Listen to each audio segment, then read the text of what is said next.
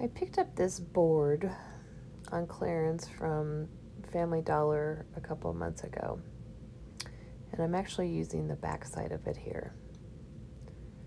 I'm layering some Mod Podge onto it, and then I'm going to adhere my scrapbook paper from the Theodosia book.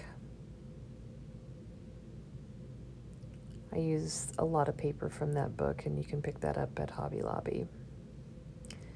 And here I'm just tracing out a shape of a carrot onto a piece of cardboard, and then tracing that onto the Dollar Tree tile. I use these tiles a lot. I love them. Then I just took a little bit more Mod Podge and hot glue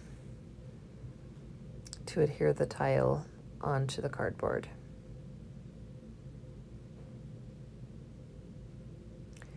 And now I'm taking my Walmart chalk paint in the color pumpkin.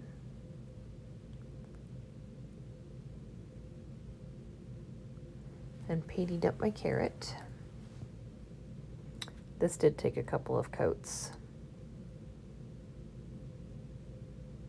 And it took a little bit longer to dry because I'm using my heat tool and I did not want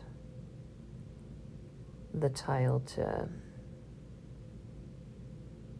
lose its shape because they will melt.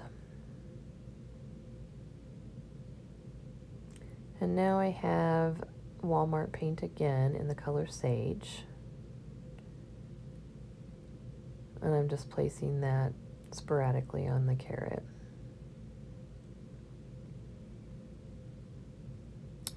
And now I'm taking my Tim Holtz Ground Espresso ink and going over those high highlighted areas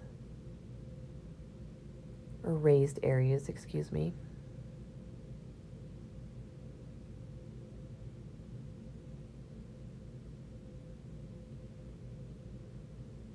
And now I'm adding a little bit more of that sage paint.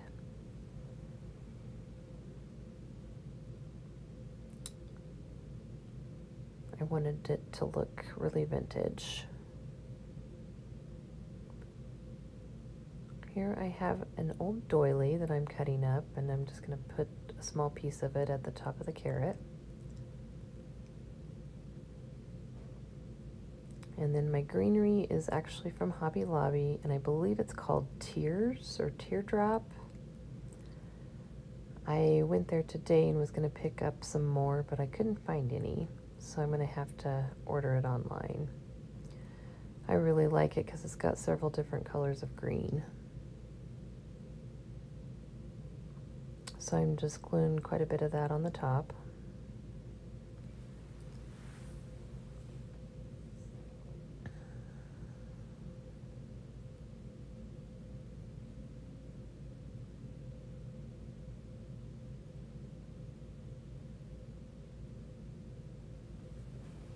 Now I'm taking my Bow Dabra and a piece of muslin that I coffee stained and baked and I'm going to make a little bow.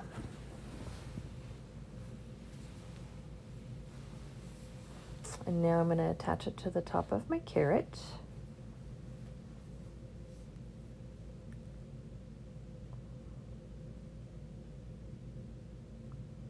And add a button. I thought about making a tag for this, but I didn't want to take away from the carrot. Now I'm just taking my gator sander and cleaning up those edges.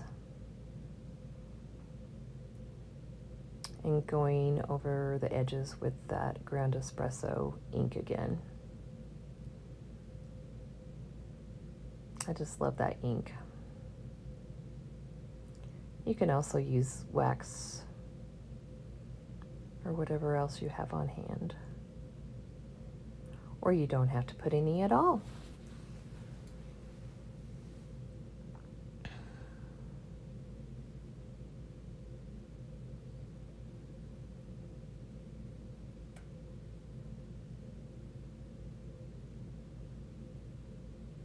Just makes it look so much different when you add that ink to it.